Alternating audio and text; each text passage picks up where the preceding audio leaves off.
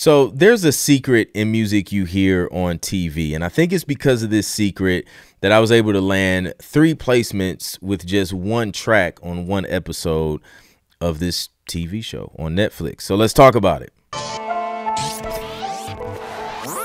What's up, Clint Music here. I specialize in producing music for TV and film, and I teach other producers how to monetize their music by showing them how to produce, prepare, and pitch placement ready music for TV as well. So if that's something that interests you, then stick around and hit that bell icon so you know exactly when that new content drops. So Today, I'm excited. I found out not too long ago that I had some music placed on season two of Young, Famous, and African on Netflix. So I had multiple tracks placed throughout the season. I also worked on music for this show on the first season as well, which was pretty exciting, especially with it being, I believe, is the first uh, African reality TV show on Netflix.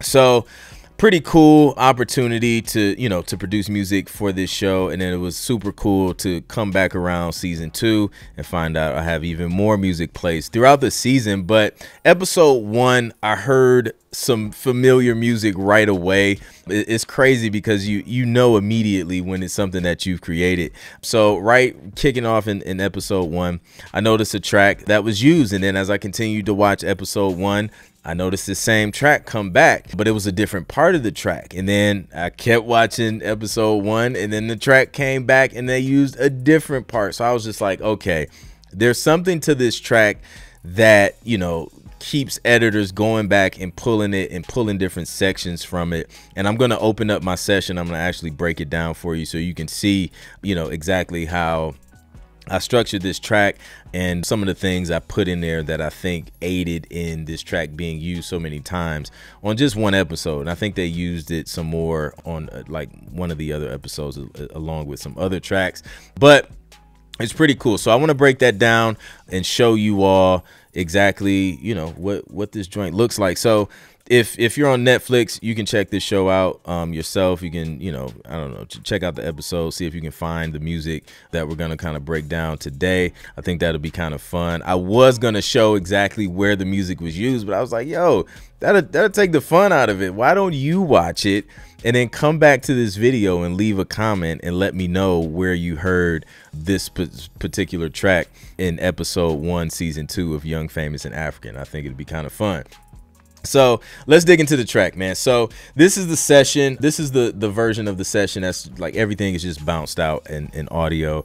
You can even see I, I still have my notes, the the last round of revisions in here, which is pretty interesting as well. Let me see. Could we have a short riser leading up to the first note?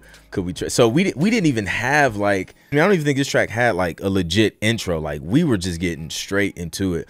It was really exciting working with this particular team as well because they were musicians, composers. So it was really easy to go back and forth and communicate because we spoke the same language. Can we try a one bar pause at 46 seconds? This will work well as an edit point. Some subtle percussion could really help to maintain the drive. Fill space and mix could introduce some. So yeah, like a bunch of different notes. You can just sit here and read this stuff. You know, this is a part of the process when you're creating music for TV. Sometimes you can send in a track and then they're like, okay, boom, it's good as is. But when you're kind of crafting a, a production music album, there is potential to do multiple rounds of revisions and notes. And this is what some of those notes look like when you're communicating back and forth with, you know, the publishers and, and editors and things like that. So that's pretty cool to see. So this is the session. So let's let's play it. I'm gonna play it from the top so you can kind of hear it, and then I'll kind of go into the the parts that that really stood out as far as what they were using in the actual show. So let's play the track. On all of these tracks, this particular publisher wanted silence at the beginning. So when they drug it into their DAWs and, and things like that, they didn't want any notes to cut off. So I'm literally playing this joint thinking like, yo, why don't I hear anything? So that's why. So we had a riser. We got straight into it. There's no intro. We're going straight into verse one. So here we go.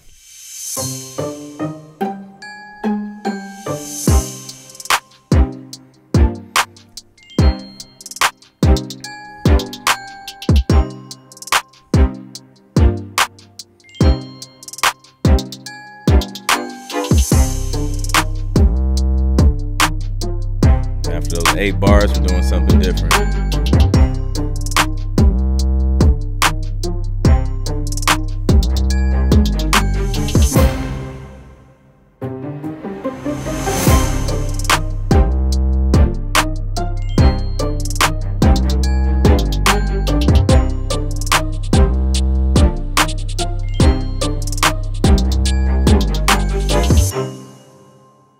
So right away, we have two sections that can easily be chopped up for an editor to transition from scene to scene on. And I think the secret with this track is that it has multiple stings, meaning this part right here. So that's kind of like a harder sting with the the orchestral hit that I added in there, and then there's just that ringing out and then that moment of silence which is a clean edit point for for editors. So we have that first one. And then you kind of have this build up here which again is a great edit point. So if you're going into a scene and you just want to come in you have a riser you have something kind of leading you into another uh, or the hook actually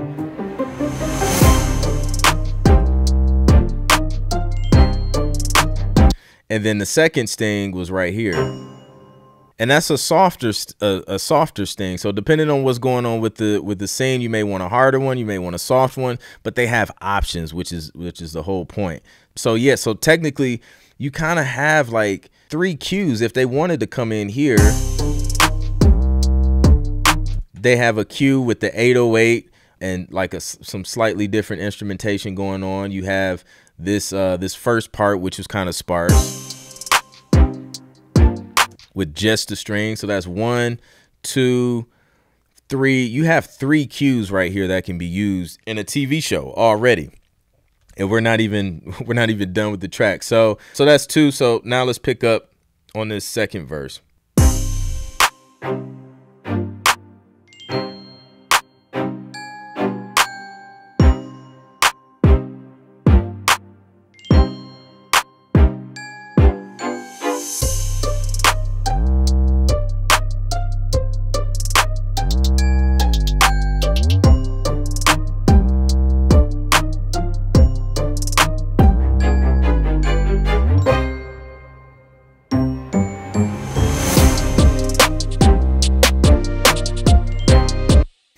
So again, we're bringing that that sting back. Kind of went more dramatic on this one to kind of switch it up.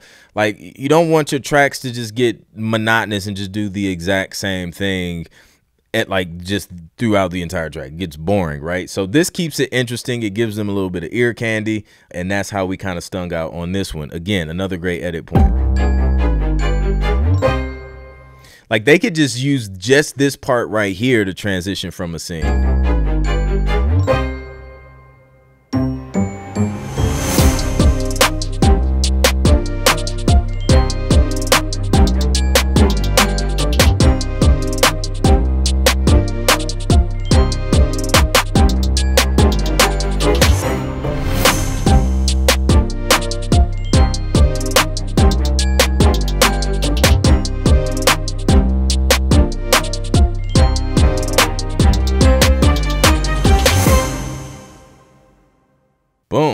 That's it. So on this final hook, I kind of added another layer of instrumentation, which is these pads here. Just to give it a sense that, you know, the track is building more, it's kind of going somewhere. I mean, it's not just remaining the same, you know, as the first hook. And then again, we have another, you know, the final sting ending as it kind of builds up. Did something a little different with the drums here. Keep it interesting.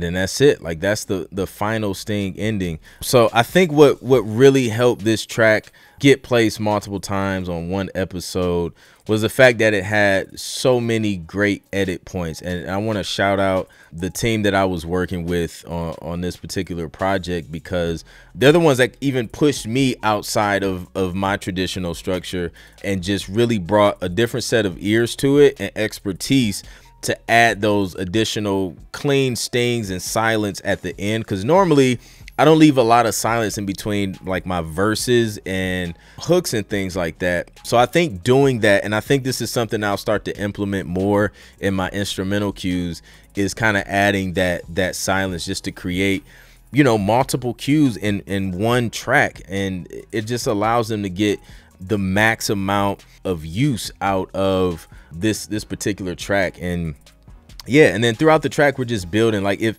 if you want to you know see from scratch how i build a track from you know from zero to a hundred just from the ground up i have a video course that really breaks it down and i show you like why i'm doing certain things why i'm adding certain layers of instrumentation at certain spots. Why? You know you know i'm, I'm just i'm making an intro a certain way or I'm, how do i construct the sting ending that you keep hearing over and over again and why that's important? So if you want information on that and you know see me walk through that from step by step just from the ground up then i'll leave a link in the description to my how to structure instrumentals for tv course. Um, that'll break down everything and i'll leave that link in the comments as well. So you can check that out and that'll really give you you know more detailed look because like i don't want to go into detail on every little every little thing I added in this track and why in this video. This is really just to show you the track that was used on on this particular show, Young Famous and African, and why I think it it worked so well. I haven't watched like the rest of the season, so I don't know if they continue to use this. A lot of times, once they they pull a track, sometimes they'll just continue to place that track over and over. But I do know there were at least two that I heard uh, in, in like the first three episodes from the production music album that I worked on on this particular project that I heard on the show. So that that's pretty cool. So it's, it's probably some more sprinkled through there. So that was exciting and you know another placement under the belt um, and another opportunity to, to create some some dope music for for a dope show based in based in, out of Africa. So that's it. So I want you to uh, definitely go and watch the show. It's Young Famous and African season two, episode one.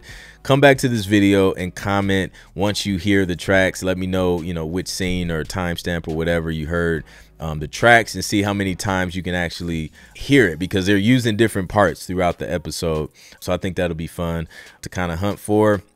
Again, I'll leave links to you know the how to structure instrumentals course for TV in the description and in the comments. And then also if you're just starting out, you're a producer and you know you just don't know the basics of sync licensing and trying to get your your music placed in tv and film. Like where do you start? I created a free video tutorial for you for you to check out. It's uh i get straight to the point. There's no fluff. It's like 11 minutes long. Like it don't take that long to explain an overview of the process. So i'll leave a link to that as well in the description and in the comments. So make sure you check out that free video tutorial for producers trying to get started in sync and that's it, man. If you guys want more content like this, more breakdowns of placements I've gotten, I've I've seen a few. I kind of got on the list that I, I want to break down. Um, let me know in the comments if that's something you want to see. If you like this video and you thought it was helpful, please be sure to like, share, and subscribe. And I'll catch you guys on the next one. Peace.